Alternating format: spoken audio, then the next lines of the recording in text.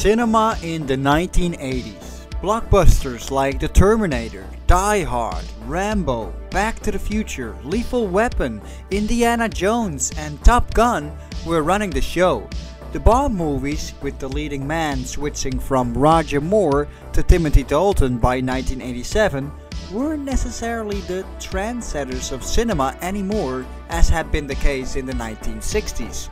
Though in retrospect the two Timothy Dalton films are beloved, Timothy Dalton himself wasn't the most popular James Bond at the time. The poor marketing of one of the most criminally underrated and arguably my favorite Bond film, License to Kill, didn't help the film either. By the time Daniel Craig was James Bond, two decades later, audiences finally grew to like Timothy Dalton's Bond a lot more.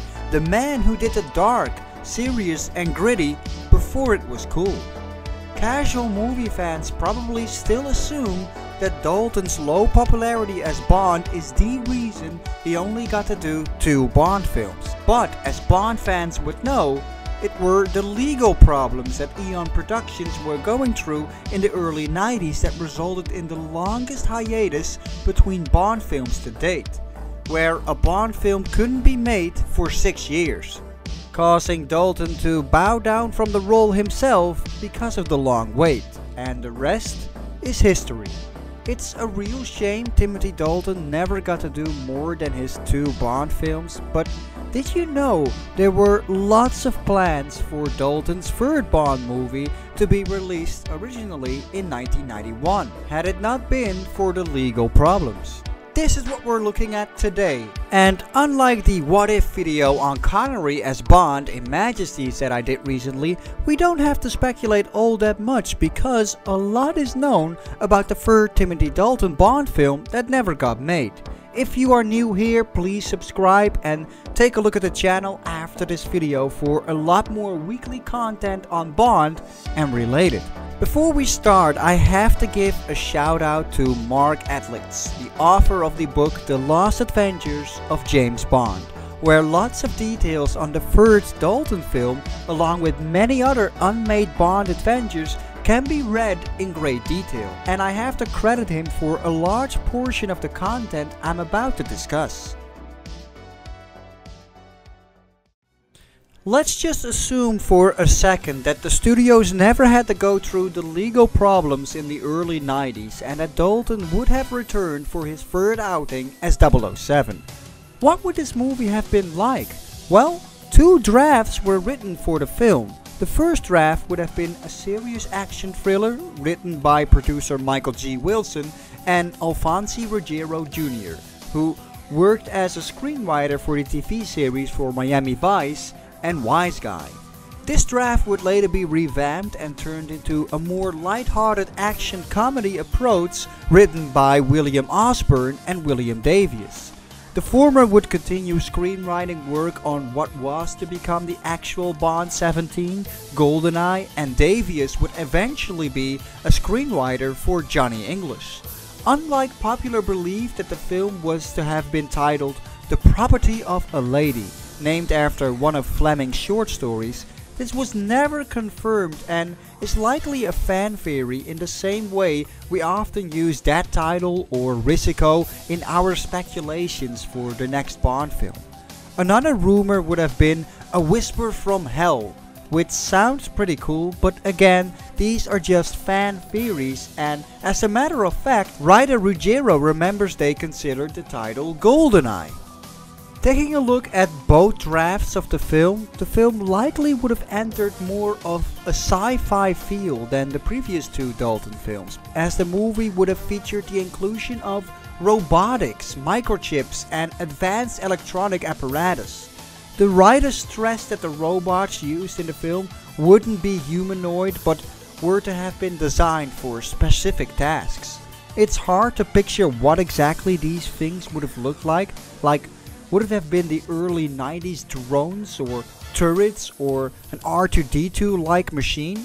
It's not really that clear, but it's hard to picture them in place for a Bond film.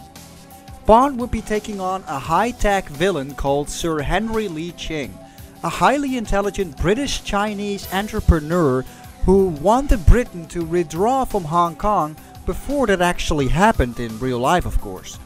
Along the way Bond would cross paths with the Chinese Secret Service and team up with a jewel smuggler slash cat burglar slash American secret agent to try and prevent a global pandemonium that could spark World War III. I'll be taking a look at the second draft by Osborne and Davies mostly, since that is likely closer to the eventual product we would have ended up with. What's interesting about this draft is that the film would have addressed Bond's age. The series never made an effort to do that up until that point, and the later Roger Moore movies definitely would have benefited with some of that, I always felt. Ironically enough, the only Bond film to do so was the unofficial Never Say Never Again that Eon didn't produce. It wasn't until 2012 Skyfall where that would become a thing. In any case, Dalton wouldn't have been particularly old looking by his third film, but it still would have been a fresh new theme. So, the movie would open up with Bond being crumbled and almost hungover in a hotel room. He would be taking tablets and would look himself into the mirror disheartened and moan to himself, you're getting too old for this. He would be called back to the bed by a beautiful woman and Bond would figure, on the other hand, maybe you're not. The opening would continue up in Tunisia where Bond would have to infiltrate a chemical plant. He would have trouble picking the lock of the door of the plant and become frustrated with himself. Bond would immediately be greeted by an armed guard and state, Oh good morning, the name is Bond, James Bond. I'm here to blow up the plant. When the guard would threaten Bond with his gun, he would say, It's obviously not a good time now, I'll come back tomorrow. He would engage in a gunfight and find containers of deadly nerve gas. He would set up a bomb and time the detonator to destroy the power plant. The bomb wouldn't go off as planned and Bond would assume his mission has failed. The guards would force him to the edge of a cliff and Bond would look down at how steep it is and tell to himself he's definitely too old to jump that. But when the guards start to fire at Bond, he is left with no choice and has to jump into the water 200 feet below. He would be picked up by his Arabian ally in a boat who would scold Bond for failing to blow up the plant and Bond would say, everybody has off days, okay? The plant would then suddenly explode and Bond would go, fortunately, this wasn't one of them. I would imagine this would ensue the opening titles of the film. Now, of course, it's hard to know which singer would have featured in the opening titles, but since Tina Turner went on to sing the title for the actual 17 Bond film, I can imagine her doing it the property of a lady. It belongs only to her. Other men aren't allowed to touch it unless someone comes along to win her over. Who knows? So anyway, after the titles, Bond would arrive at MI6 in an Aston Martin Virage. Not the cool modern one though, but the ugly early 90s one. Yikes. Bond would encounter Moneypenny looking gorgeous and actually ask her out. Moneypenny would decline his offer and state he's too late and she is engaged. This is an aspect I was really surprised to read about. It's actually quite a cool concept which would again show Bond's age and his charm wearing off, as well as Moneypenny moving on from her usual crush. Bond would meet up with M and the junior Minister of Defense, Nigel Yupland, who would find the 00 program to be redundant and wants to make severe budget cuts he would call new department guidelines about how money is to be spent in the field. This immediately reminded me of Max Denbigh from Spectre. So apparently a high-tech experimental fighter jet has been stolen from a US aircraft carrier and M would suggest that an American mob is somehow connected to the theft. And Yupland states that the Finelli crime family has a warehousing operation in Vancouver, about 30 minutes from where the plane disappeared. So this film would have actually had Bond go to Canada, something that still hasn't happened to this very day. That's very cool. Bond wouldn't be the only one affected by Yupland's budget cuts as apparently Q Branch was to have been decommissioned in this movie and would feature Q being forced into retirement because of this. Bond's DB5 would feature in a closed down lab and would be set out for destruction.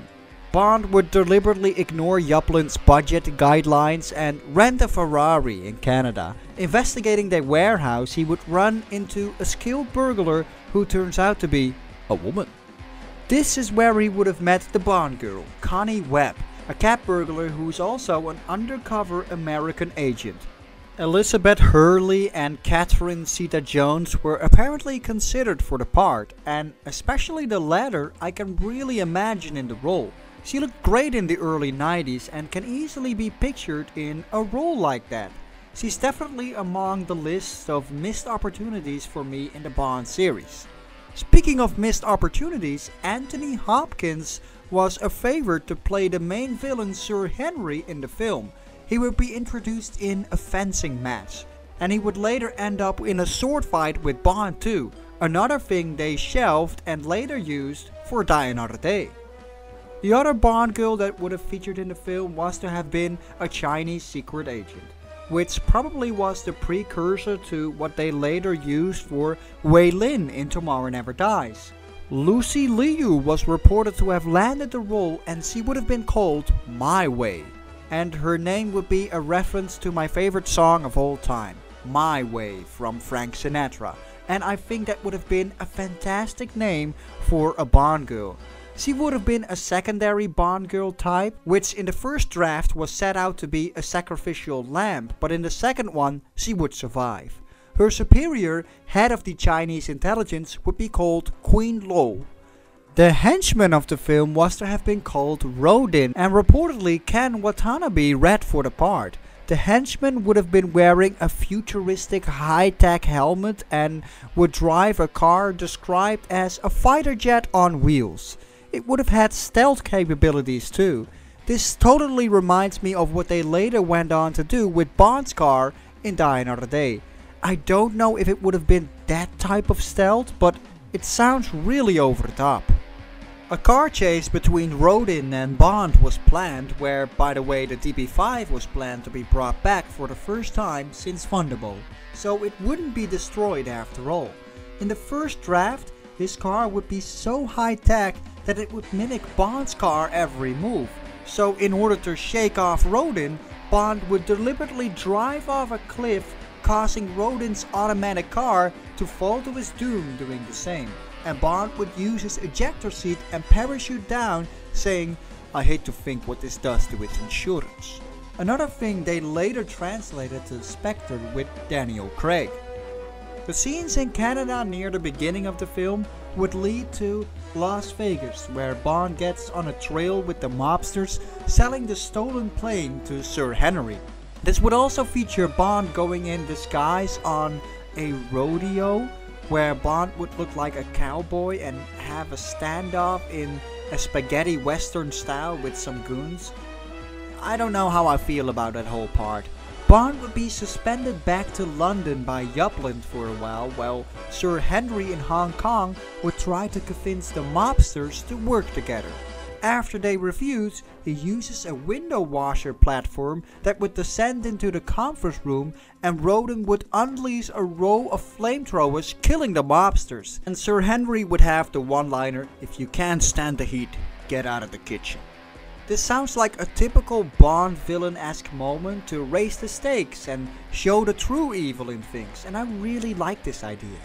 The movie would also feature Bond jumping from a plane straight into a pool on the top of a skyscraper, which sounds really outlandish. A moment I do really like is when Bond retrieves the plane he would crash land into the streets of Hong Kong, skid several blocks and crash through a government building before finally surging into Yupland's office and Bond would remark, Good morning sir, the good news is I found your plane. The plane would also mark the end of Sir Henry as the nose rod would ram straight through Sir Henry's chest. where admittedly I liked the depth they went for in the first draft by Wilson and Ruggiero a lot more, where Bond would eliminate Sir Henry with a welding machine. It sounds very cool and like a typical Dalton Bond type of thing to do. The movie would end with Bond and Connie laying in a forest clearing and Bond would tell her about past villains like Goldfinger, Oddjob and Blofeld, which would be a nice tie-in to the continuity and they would make out and have sex. Taking a look at a Bond film that almost got made is always interesting and I can immediately state much more can be found and again would like to point you to Mark Edlitz's book who not only describe much more of this stuff but also interviewed the writers working on these drafts. What do I think? I like a lot of stuff they came up with. Maybe the more light-hearted approach would have worked with audiences coming after the darkest Bond adventure yet, License to Kill.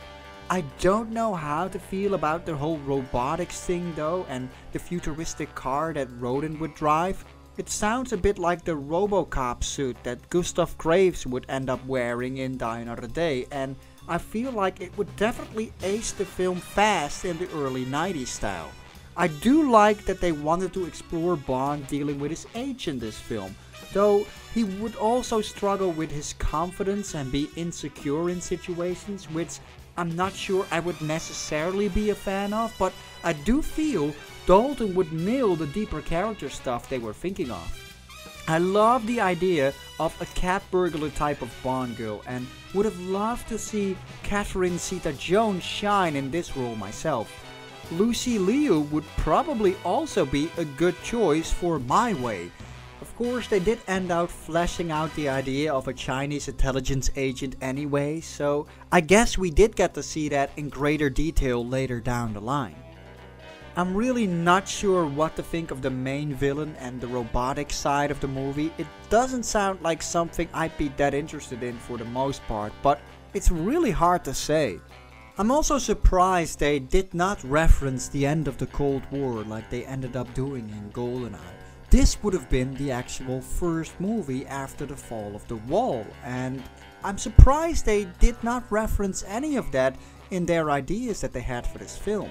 Would GoldenEye have been totally different as well had this film been released? Because GoldenEye wouldn't be the first post-Cold War Bond movie anymore.